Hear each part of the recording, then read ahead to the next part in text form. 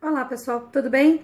Eu tô aqui hoje para fazer uma receita de pão caseiro é, com fermento é, biológico, né? Esse aqui, ó, tá?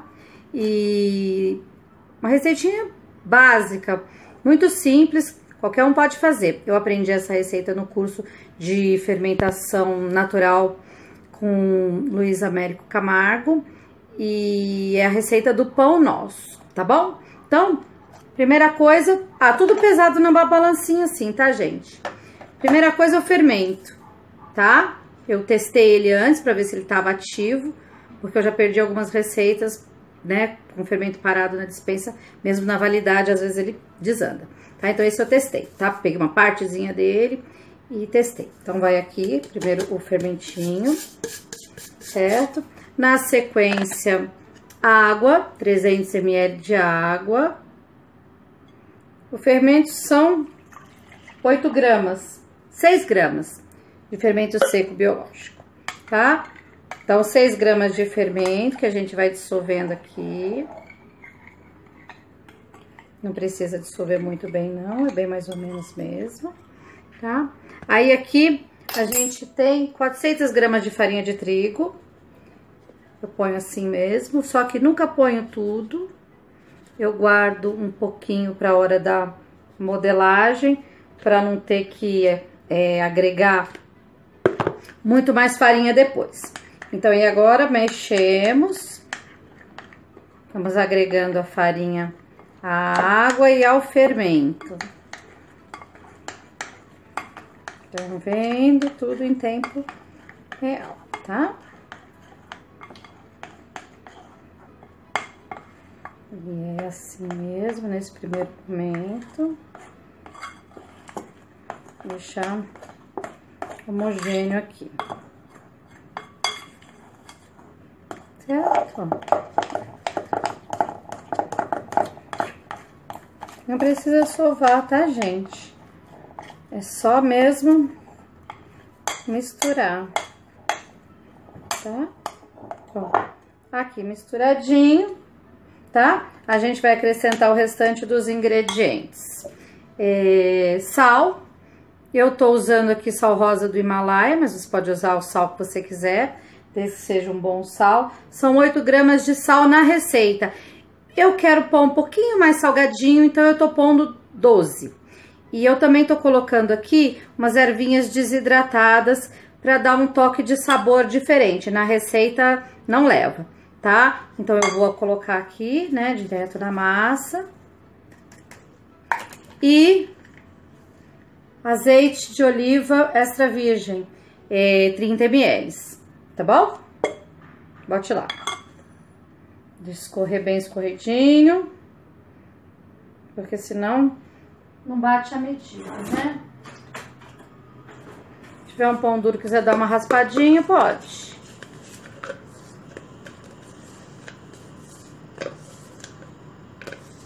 Isso. Pronto, show. E agora, misturar. Ok.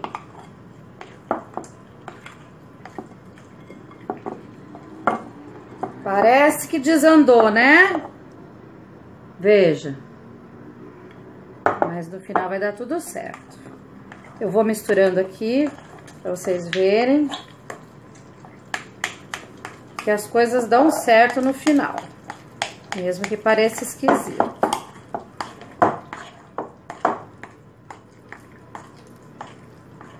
Vai misturando.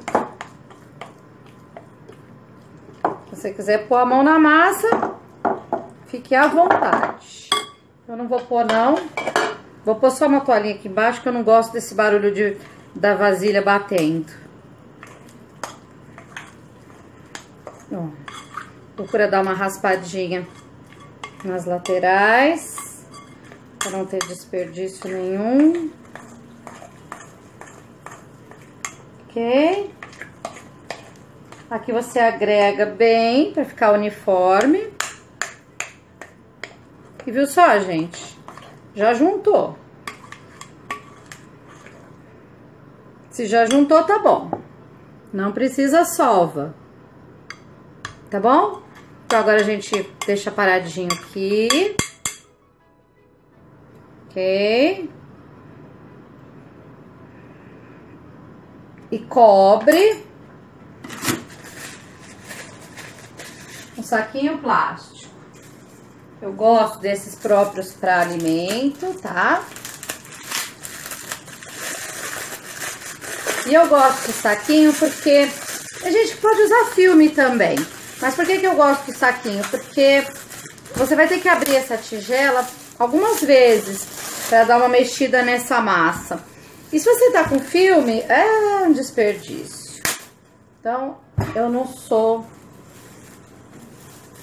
favorável a nada que dá desperdício. Ainda mais plástico, né? Que é uma coisa que demora uma eternidade para se decompor na natureza.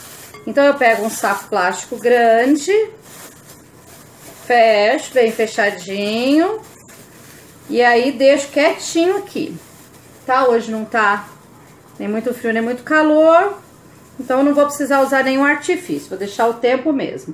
15 minutinhos. Daqui a pouco a gente volta. Bom, eu tô de volta, 15 minutos do primeiro descanso da massa. Eu vou abrir aqui para vocês verem como ficou. E a gente vai fazer o primeiro procedimento, que é fazer dobras nessa massa. Esse procedimento é bastante simples. Olha a massa, gente, tá? Não mudou muita coisa, mas é assim, uma massa mole mesmo, tá? Então, ó, de baixo pra cima, de baixo pra cima.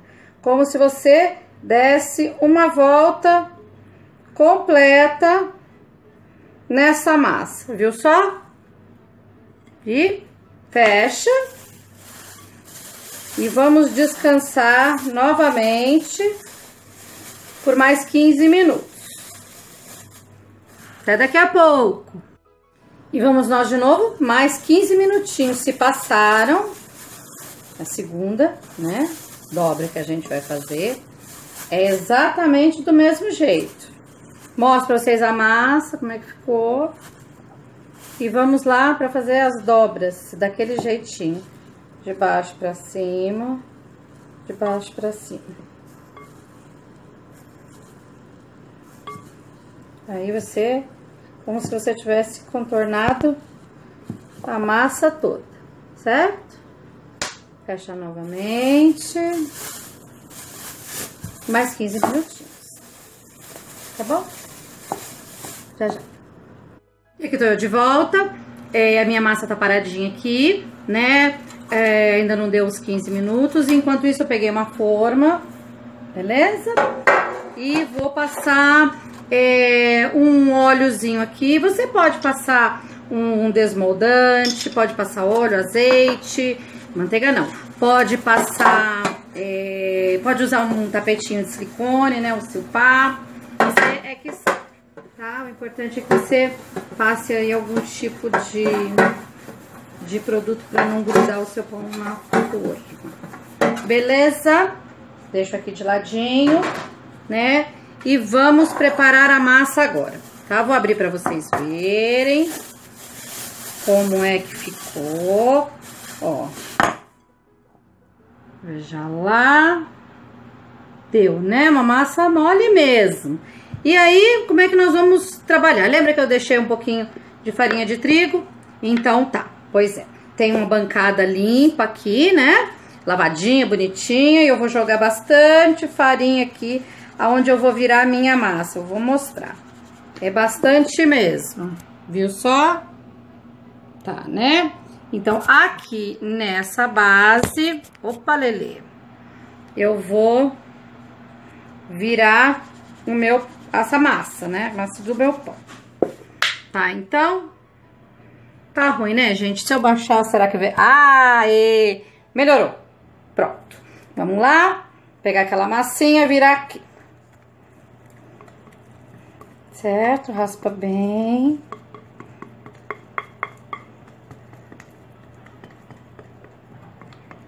Uhum.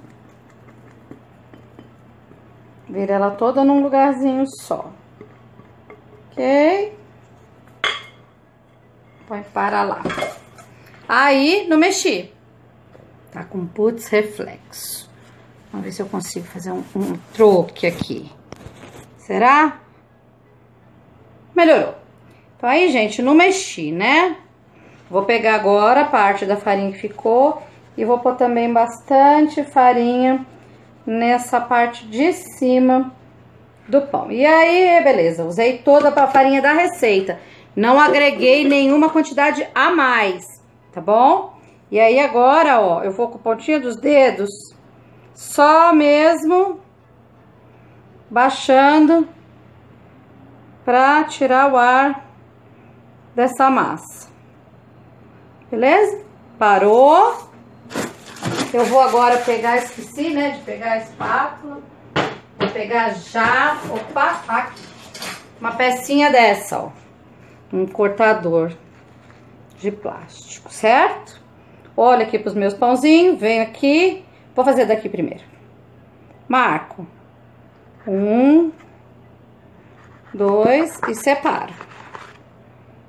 Tá? Separa. Igual a gente faz quando corta o nhoque, né? Marca e separa. E vem aqui de novo, marco e separo. Certo? Separei. Deu pra ver como é que ficou? Deu, né? Pronto. Então aí, vamos prosseguir. Tá? Agora eu tenho que dar uma espécie de uma modelada nesse pão, né? Vou pondo farinha assim nos cantinhos. O suficiente para eu conseguir transferir esse pão lá para minha forma, para minha assadeira. Eu faço um de cada vez. Primeiro eu cuido desse aqui. Segredinho é você ter a sua assadeira perto, para você não ter, né, um caminho muito grande a percorrer com esse pãozinho. E vamos lá e tchum, transferir. Viu? Depois eu mostro melhor. Esse pão não cresce muito, tá, gente? Então, pode ficar sossegado, que desse jeito que a gente tá fazendo, tá bom, tá? Eu adoro esse pão. Apesar de não ser um pão de fermentação natural, ele é delicioso. Eu aprendi essa receita agora, quero fazer ele direto, principalmente porque ele é rapidinho. Tá bom? E vamos lá e transfere e ajeita. Dois, certo? Será que se eu puser esse aqui mais perto, vocês veem melhor? Tá vendo aí? Como é que a gente vai trabalhando? Eu vou pôr a farinha só assim por debaixo. Tá vendo? Aí assim, só por debaixo, tá? E vamos chegar a forma pertinho aqui. Coloca a mãozinha por baixo assim, ó, minha gente. E leva para lá. Deixa eu mostrar pra vocês, gente. Ó como é que fica. Bonitinho. Ó, tá vendo? Deu pra ver ou não deu? Me atrapalhei aqui. Deu, né? Então, tem bastante farinhazinha em cima, é assim mesmo que eu gosto, tá? E vou é, cobrir ele aqui agora com um saquinho. Vamos continuar, né, de onde a gente tava. Cadê aquele saquinho? É o mesmo do começo ao fim, certo? Vou cobrir ele aqui. Eita, Lele, será que esse não vai dar por causa do tamanho da minha forma? Hum, hashtag chateada. Não vai dar. Não vai dar, então eu vou ter que cobrir de outro jeito. Muito a contragosto. Vou ter que usar o filme. Não gosto que o filme não gruda direito na minha forma.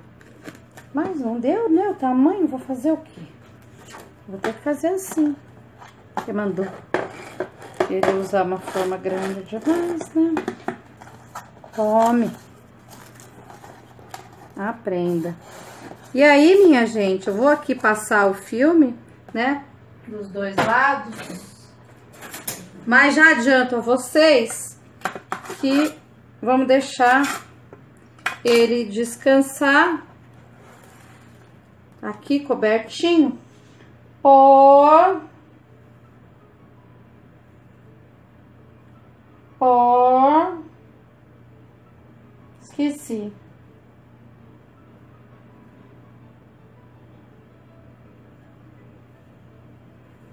Meia hora. Ei demorei né? Meia hora cobertinho. É o tempo da gente ligar o forno pré-aquecer o forno e aí vamos assar. E daqui a pouco eu volto